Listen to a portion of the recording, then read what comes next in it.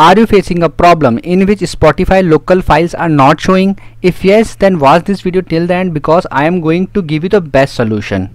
First of all, you need to open Spotify app on your system. Then you need to go to your profile and then need to click on settings. You need to scroll down. Under library, you can see an option show local files. This is turned off. So you need to turn this option on and herein you can find local files. If you still face any problem, then you can move to the next steps the next step is to update Spotify to the latest version. So you need to uh, go to three, three dots and click on help and click on about Spotify. Herein you can check the latest version or which version is you are using. Uh, if you are using an old version you then you can update it. You will get an option to update I am using the latest version.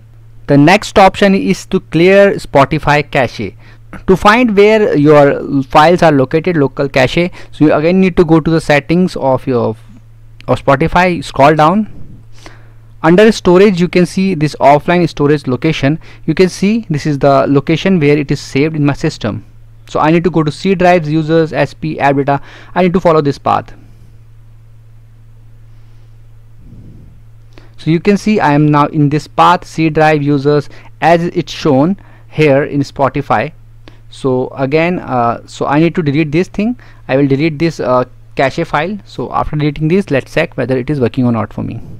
After deleting it if it still it does not work for you then you need to uninstall Spotify from your system and reinstall it once again. If you still face any problem you can comment below and I give reply to every my viewers. In case you find this video helpful just hit on the like button and also subscribe my channel for my upcoming videos